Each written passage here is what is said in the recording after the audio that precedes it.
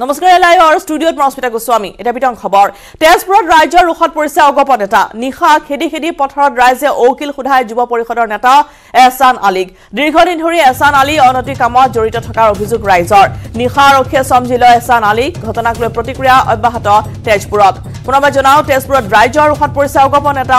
নিশা খেদি খেদিত পথাৰত ৰাইজে ঔকিল সোধাই যুৱ পৰিষদৰ নেতা এহছান আলীক দীৰ্ঘদিন ধৰি এহছান আলী অনৈতি কামত জড়িত থকাৰ অভিযোগ আনিছে ৰাইজে। নিশা আৰক্ষীয়ে চমজি লয় এহছান আলীক এই ঘটনাক কেন্দ্ৰ কৰি প্ৰতিক্ৰিয়া ব্যক্ত কৰিছে। তেজপুৰবাসী আৰু প্ৰতিক্ৰিয়া বৰ্তমান তেজপুৰত অব্যাহত আছে।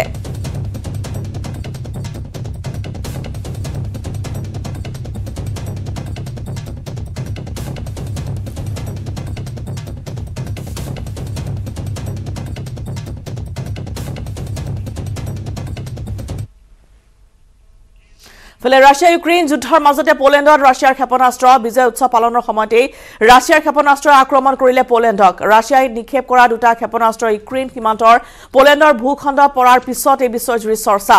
ইউক্ৰেইন সীমান্তৰ লুবলিন ভয়শিপৰ জনবসতিপূৰ্ণ অঞ্চল প্ৰিপডবত দুটাকৈ ক্ষেপণাস্ত্ৰৰ বিস্ফোৰণ। এই ঘটনাত দুজনকৈ লোকে মৃত্যুক আঁকোৱালি লৈছে। ইফালে জি টুৱেণ্টি শীৰ্ষ সন্মিলনৰ মাজতে ইউক্ৰেইনৰ ওপৰত পুনৰ আক্ৰমণাত্মক হৈ উঠিছে ৰাছিয়া।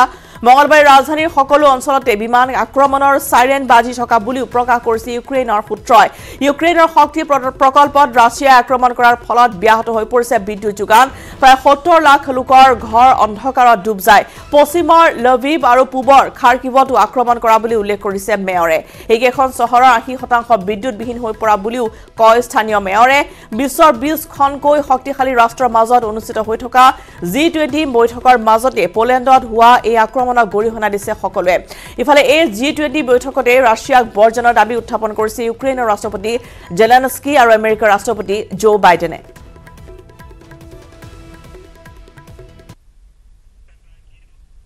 আৰু পলেণ্ডৰ ৰাছিয়াৰ ক্ষেপণাস্ত্ৰ আক্ৰমণৰ পিছতে